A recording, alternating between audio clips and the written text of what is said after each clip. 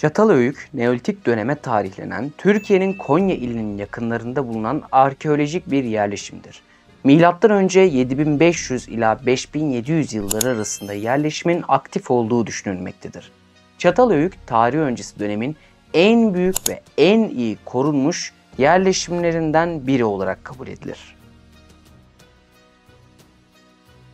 Çatalhöyük halkı tarım ve hayvancılıkla geçimlerini sağlardı. Bu dönemde buğday, arpa, bezelye gibi bitkiler yetiştirilirken sığırlar, koyunlar ve keçiler gibi hayvanlar da beslenirdi.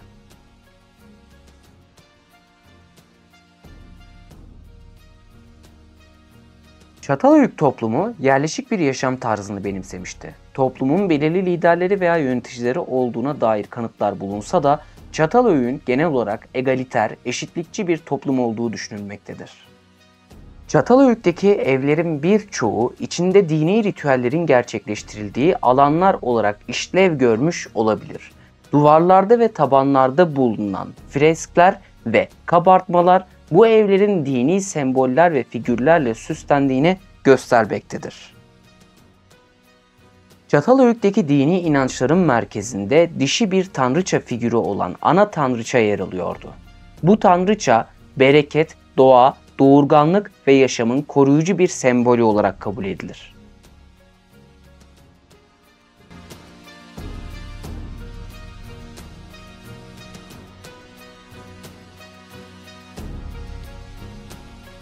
Efes antik dönemde önemli bir şehir ve liman kenti olarak bilinir ve bugün Türkiye'nin İzmir ilinde yer almaktadır. Efes M.Ö. 10. yüzyıldan itibaren Lidyalılar, Persler, Yunanlar ve Romalılar gibi birçok farklı medeniyetin egemenliği altında bulunmuş ve zengin bir tarih ve kültürel mirasa sahiptir. Antik Efes'te aile yapısı genellikle geniş aile temelindeydi. Birçok nesil aynı evde bir arada yaşardı. Aile reisi genellikle baba veya büyük baba olurdu. Kadınlar ev işleri ve çocuk bakımı ile ilgilenirdi.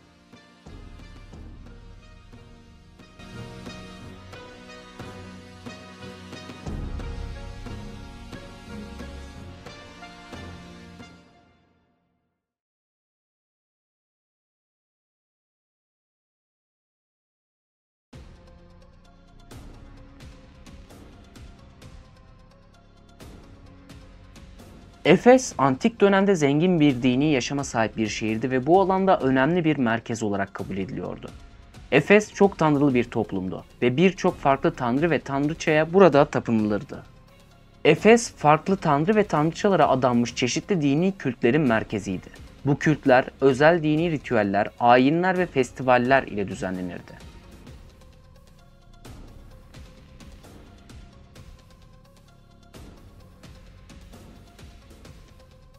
Hattuşa Antik Hitit İmparatorluğu'nun başkenti olarak bilinir ve Hititler M.Ö. 17. ila 12. yüzyıllar arasında bu bölgede hüküm sürmüşlerdir.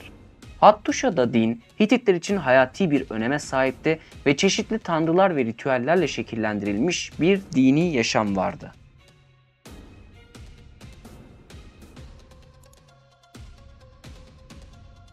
Hattuşa'da giyim dönemin modasına ve iklim koşullarına bağlı olarak değişiyordu. Hititler genellikle kalın ve dayanıklı kumaşlardan yapılan giysiler giyerlerdi. Truva Savaşı antik Yunan mitolojisinin ve tarih öncesi dönemin en ünlü olaylarından biridir.